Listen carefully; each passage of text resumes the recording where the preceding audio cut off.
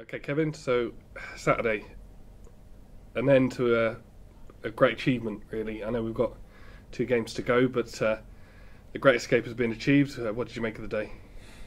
It, well, it, it, was just another game at the time that we had to win.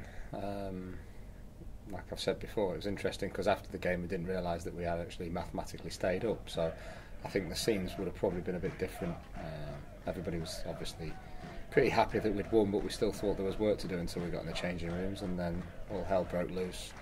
Ben Gowen broke the kit carrying uh, case that we've got by jumping up and down on the wheels. Um, was a few sing songs, lads were happy, but that's probably a bit of relief the fact that we've got the job done, and, and I'm so glad that we've managed to get it done with a, a couple of games to go, so we can really enjoy it and share it with the fans we talk about the fans. It was over 500 at Bromley.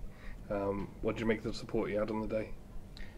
Well, the support's been unbelievable anyway. I mean, you go back to before the, the run started.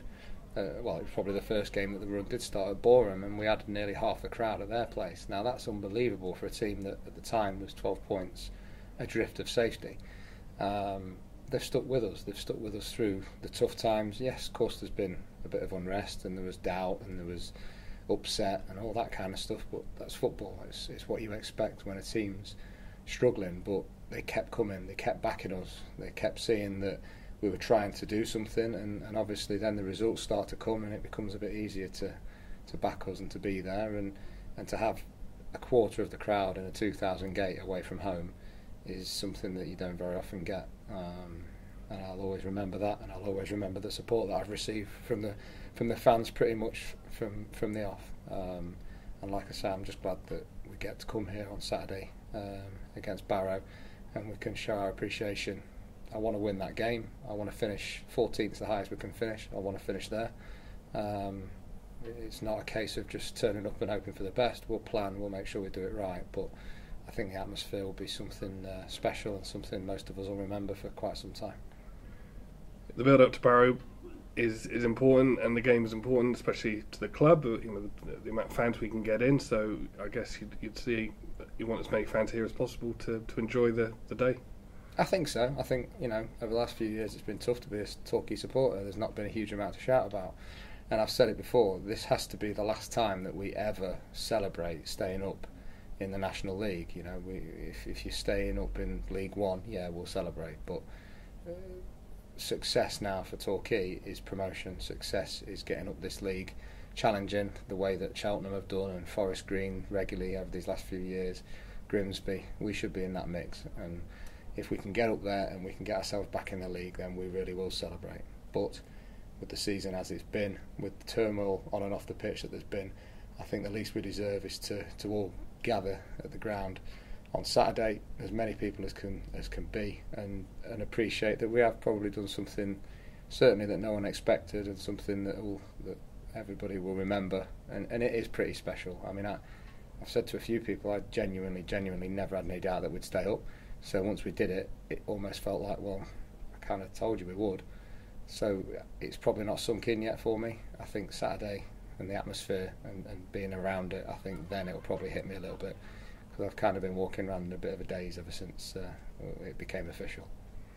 I mean, the players have been talking and, and being interviewed and whatnot, and some of those are saying it's it's actually say it, it's a strange thing to celebrate, but it's it, in some ways it's some of their their, play, their biggest achievements in football.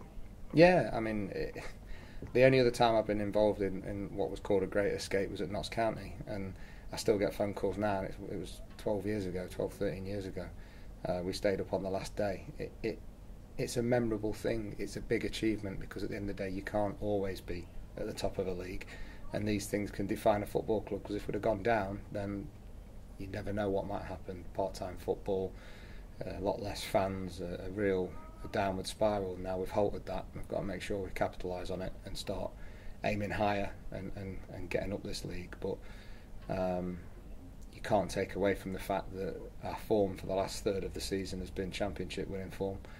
The boys have earned that. They've earned the right because they've gone out there and they've done the same thing game after game without getting carried away with themselves, without thinking that they'd made it. They went out there and did it, and um, it's credit to them. Credit that they could keep that going.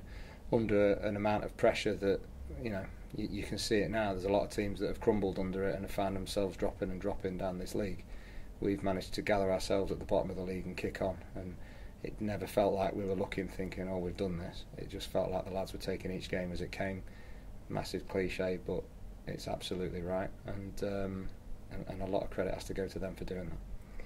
Of course, we've got something else past Saturday, Yellowfest 2, um, which is going to be a big celebration and should be a good couple of days for the club in terms of the music, in terms of the, the beer festival.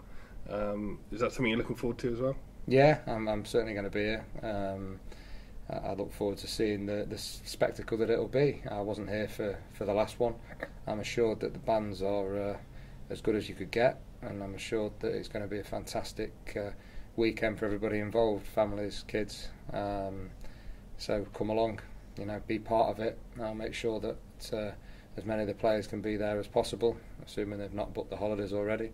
And um, and yeah, it's just another nice end to a season to, to be in and around the ground and to, to sample something a little bit different. Well, for now, I think we'll have another interview where we talk about the season as a whole and uh, maybe parts of it. But for now, thanks very much and uh, well, congratulations and, and, well done on a, on a good job. No problem. Cheers, man.